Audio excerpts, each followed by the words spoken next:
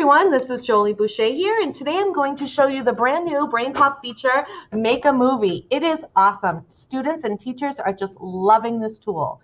Okay, the first thing you're going to do to access this new feature is you are going to have to sign in with your own premium BrainPop account. So in our district, we do that through Google Drive. We go to the waffle and then you will see Moby. There we go. So once you click on Moby, it will sign you into your account. And after you watch your favorite video, you are going to click on Make a Movie. And this will launch the editor to make your very own BrainPop style movie. So exciting. So here we go. We are about to start creating our own movie, and we get to start with a letter, just like the BrainPop videos do. So we can answer a letter, we can write a new letter, or we can edit our last movie. You can also assign a Make a Movie project to your students by clicking on the link here, or teach with Make a Movie. So we're going to answer a letter. And I have three different letters to choose from. I'm going to select the first one about metaphors. That will be the topic of my video. So I'm going to choose this letter right here. And now my launcher has opened. This is great. I have all my slides up here and I have my toolbar over here. Here are my images that auto-populate because they match the movie. I can add sound, annotate images, draw my own pictures, and here's a little help video. All right, so the first thing I'm going to do is I'm going to click on my first slide, and I see here's my letter. And the first thing I notice is I do want to edit my letter. I want to capitalize the J, and I could add any text or I could change um, any words here as well, but I'm just going to save this. And now I'm going to add a recording. So when I click add sound, I can type words and a computer voice will read the words, or I could record my voice. I love that students have an option.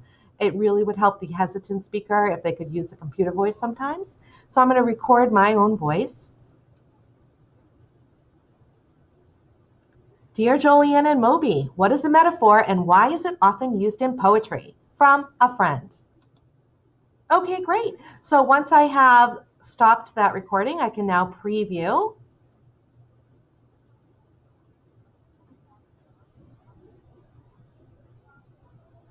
Perfect. So I'm going to save this right into my editor.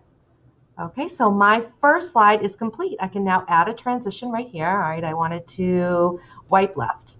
All right, now my second slide will reopen the editor so I can pick an image and just drag it into my workspace.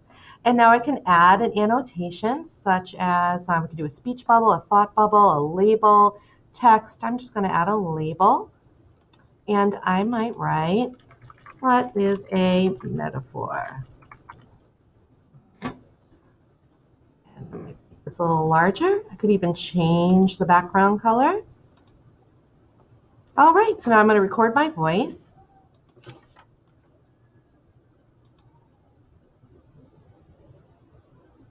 What is a metaphor?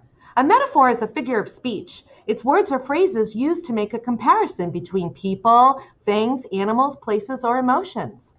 Metaphors help provide our readers with a visual description. Okay, so now I could preview and I would save that recording right into my clip. Okay. All right, so I already have two slides done. This is great. So now I'm going to preview my movie. Sure it looks good so far. Here we go. So I have 36 seconds already.